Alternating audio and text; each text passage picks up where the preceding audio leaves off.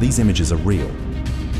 This could happen in your home, in your neighborhood, if a nuclear bomb exploded.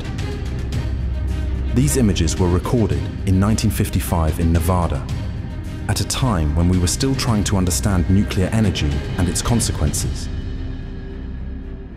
The history of atomic energy dates back to a time when its potential was still unimaginable.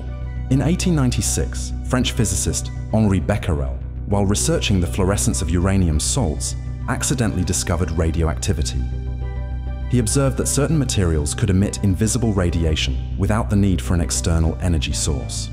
This discovery marked the starting point for a series of investigations that, over time, would completely transform our understanding of matter and energy, laying the foundation for the development of nuclear power.